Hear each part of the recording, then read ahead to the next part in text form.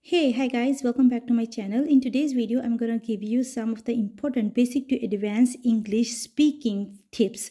Yes, if you are the beginner, if you are looking for the speaking tips, then follow my channel. Here you can get all the speaking tips, IELTS speaking tips, and also you can get the all related with your exam tips. Now let's get started. If you wanna, if you are looking for the free speaking, then again we are here to help you out. If you want to do free speaking with us then only you need to subscribe our channel and watch this video and subscribe this video and share this video with your friends who is still looking for your english speaking partner. So now let's start with the basic basic. Usually you are saying how are you? Instead of saying how are you? You can say how it's going? And let's meet today. Then you can say let's catch up today. I am very hungry. This is the basic. You always say that but instead of basic, you can use the advanced word. I'm starving.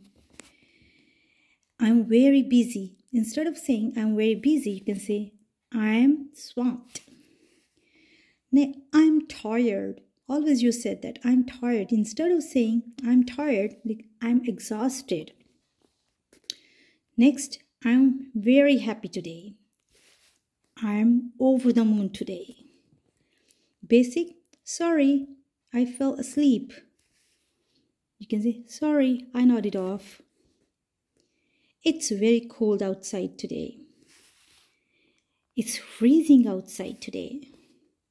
Leave me alone. Sometimes you are irritated with someone. You can say, Leave me alone. Instead of saying, Leave me alone, you can say, Give me a break.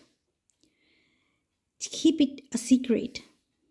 Keep it under wrap. Good luck break a leg. So these all are English advanced, basic to advanced English. If you are looking for your speaking partner, then we are here to help you out. But before that, what you need to do, you need to only subscribe our channel, like this video and share this video with your friends who is still looking for the speaking partners and still on the boat of the learning English speaking. So now we are here with you guys. Thank you very much for watching this video. For the latest updates, follow our channel. Thank you very much for watching this video.